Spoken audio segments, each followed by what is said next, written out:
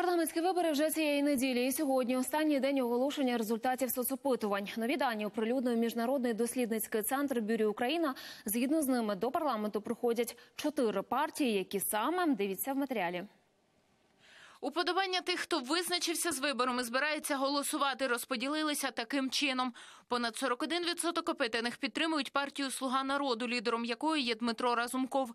Зріс рейтинг в опозиційної платформи за життя Юрія Бойка, Вадима Рабіновича та Віктора Медведчука. Їм симпатизують 18,6% респондентів. Фахівці відзначають стрімкий стрибок рейтингу цієї політсили.